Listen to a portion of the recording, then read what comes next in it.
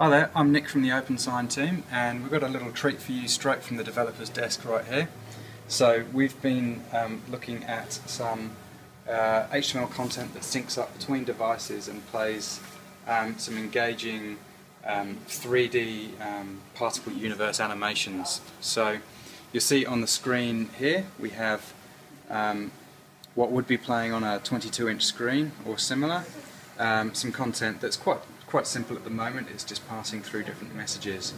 But as those messages pass through, it's talking to other uh, OpenSign devices um, and telling them to update their content.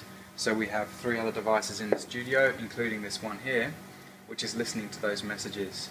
So every time the content changes um, on, on the screen here, it's changing the 3D animation or the 3D um, picture that you see to sync up with that.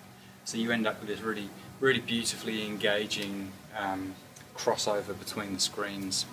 Um, and we can take that a little step further. So um, if I now initiate the next phase of this, which would be triggered by a sonar sensor or a touch event, then as I hit that, it goes into a new cycle, and again the screens um, are bringing up new messages um, in coordination with that.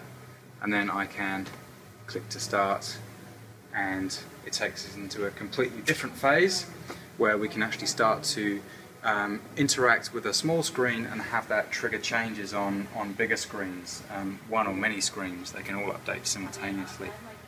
Um, and as I click through it changes the message. So that's just a, a brief run through of um, how we can use standard web technologies to start to create really engaging experiences across devices um, and create some really beautiful interactions.